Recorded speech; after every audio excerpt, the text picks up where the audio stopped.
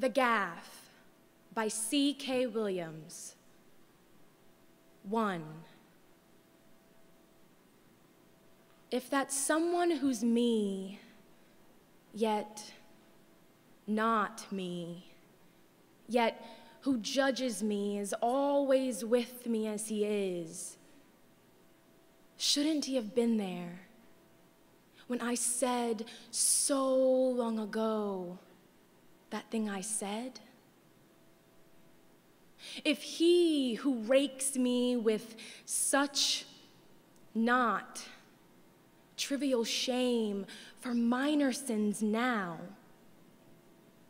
were there then, shouldn't he have warned me? He'd even now devastate me for my unpardonable affront. I'm a child then, yet already I've composed this conscience beast who harries me. Is there anything else I can say with certainty about who I was except that I, that he could already draw from infinitesimal transgressions complex chords of remorse and orchestrate ever undiminishing retribution from the hapless rest of myself? Two, the son of some friends of my parents has died, and my parents, paying their call, take me along. And I'm sent out with the dead boy's brother and some others to play. We're joking around, and some words come to my mind which, to my amazement, are said. How do you know when you can laugh?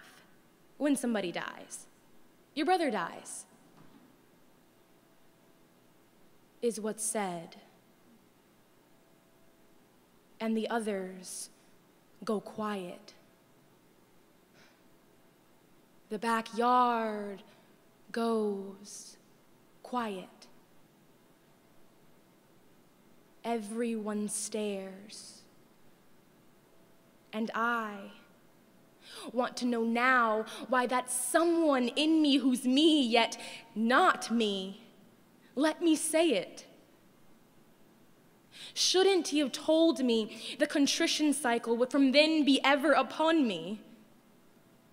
It didn't matter that I'd really only wanted to know how grief ends and when. Three, I could hear the boy's mother sobbing inside then stopping, sobbing, then stopping. Was the end of her grief already there? Had her someone in her told her it would end? Was her someone in her kinder to her, not tearing at her as mine did? Still does me for guessing. Grief someday ends. Is that why her sobbing stops sometimes? She didn't laugh, though, or I never heard her.